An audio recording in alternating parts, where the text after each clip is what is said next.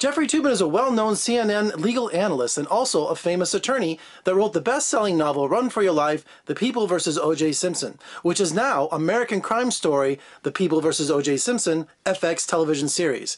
And joining me today from New York is Jeffrey Toobin. Jeffrey, hi, greetings from Las Vegas. Uh, hi, Jeff. Uh, I wish I were there, but then I always wish I'm in Las Vegas.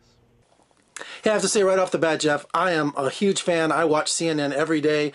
I feel like I know you, and I'm just such a big fan. How to get get just gush over you real quick. A nice thing to say. Thank you.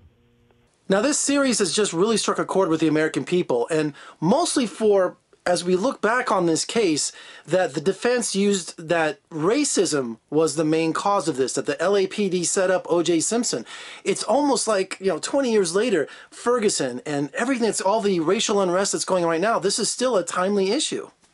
Well, that, that's what's so amazing about the timing of American Crime Story is that it comes on the heels of Ferguson, Baltimore, Chicago, Staten Island, all these cell phone video cases that we're so familiar with, and the theme of both The Run of His Life, the book, and American Crime Story, uh, the series, is race in the criminal justice system and how it can be used and abused, but how uh, African Americans have a very different experience of dealing with the cops.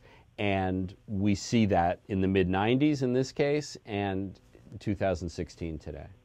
Now, as an attorney, you deal with facts. And when you were researching your book and documenting the trial of O.J. Simpson, it is the facts. You try to get, you know, personal accounts and get everything right, but this is a television series.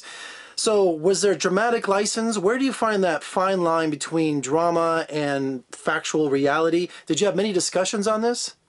Well, you're right. I, I, my book is journalism, and my book was a good faith attempt to be 100% accurate to what happened. The dramatization on American Crime Story is different.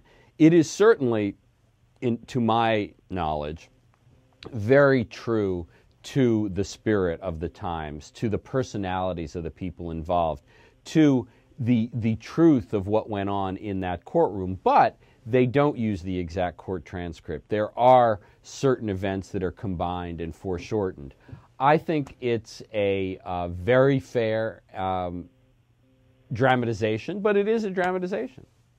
So many authors have to consider big offers from Hollywood studios to take their book and transfer it to the big screen or to a television series. When you were writing this book about the trial of O.J. Simpson, were you approached? Was there a lot of uh, interest in your book way back then and even today?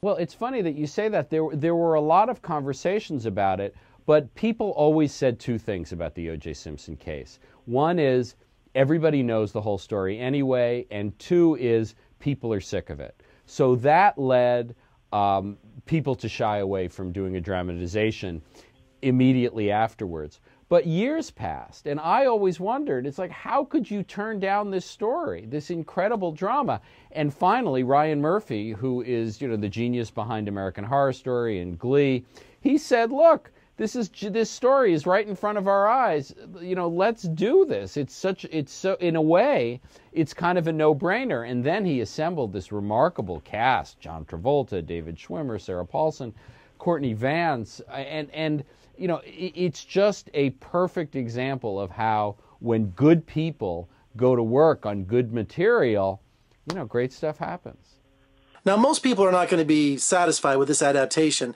especially the Goldman family. And I saw them recently on an episode of Dr. Phil where they were criticizing this television series, but they said they hadn't even seen it yet. Do you think that's fair? You know, I love the Goldman family. I was on Dr. Phil with them, and, you know, their complaint is with the fact that their son and brother was murdered and O.J. Simpson got away with it. They're not, re- I mean, I don't mean to speak for them. Their grievance is not with FX. They are reasonable people. They didn't want to see the story exploited, and I think now that the series is out, and and you know tonight is episode four. I think they've seen that it is an intelligent, not exploitative um, examination of the story. But I, I, have no grievance with the Goldman family at all. These are very good people who suffered an unimaginable tragedy. Now, as the author of this book and now a big time FX television series, did you work closely with the screenwriter? Were you there on the set every day? So, what was your role once production started? Yeah, well, I worked with the screenwriters. Uh, I read the scripts. I, I, was on the set several times, but certainly not for the whole five months it took to shoot. I talked to the actors a lot about their characters because some of them um, wanted to talk to their real life counterparts, some of them didn't.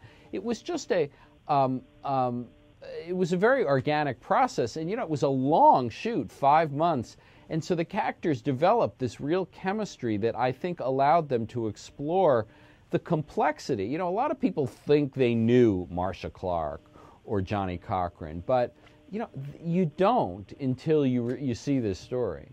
This is like a dream team cast. Uh, I was wondering if you had someone specific in the cast that you admired the most in their portrayal of one of the lawyers or one of the family members. I love John Travolta in this. I just think he is such a superstar. He just blew me away in this. You know, I I, I uh, think Travolta is great. When I first met John Travolta on the set, I thought to myself, "Wow, this is what a movie star is like." I mean, he has this incredible charisma, both on and off camera. I think my favorite, actually, and, and you haven't seen it yet if you're watching the series live. Courtney Vance as Johnnie Cochran and Sarah Paulson as Marcia Clark are so great and their stories uh, and their characters are so rich and complicated. Those to me are the most um, surprising and interesting portrayals. All right, here's the big question, Jeff. A lot of people are going to watch this in years from now and think that this is the actual true account. I mean, look what happened with Oliver Stone and JFK. Everyone who watches that thinks that exactly what happened with the JFK, JFK conspiracy. So, how are you now situated to think that maybe years from now people will think this is the real events and everything in this TV series happened for real? You know, I, I, I'm not the truth police. I, I think people are going to believe what they want to believe. One of the things I, I long ago recognized about the O.J. Simpson case is that trying to persuade people that something is true or something is untrue is a futile enterprise. People believe what they're going to believe, and I, I don't I, I don't have a problem with that. And if they use this series, that's a heck of a lot better than using the rumors on the internet or, or all the craziness that has surrounded this case as, as your basis for thinking what's true. Well, Jeff, congratulations on the success of your book and the miniseries on FX. And uh, you know what? Come visit us in Las Vegas soon. We'd love to have you back. I'll be there. So long, Jeff. You too. Thanks for talking to me today. All right, for more reviews and interviews, just surf on over to my website at vegasfilmcritic.com. And also, if you like what you see, please comment below, give me a thumbs up, subscribe. Oh, and don't forget to don't forget to check out The People versus O.J. Simpson on FX right now. I think it's Tuesdays at 10. Of course it is. I'm Jeffrey K. Howard. I'll see you next time.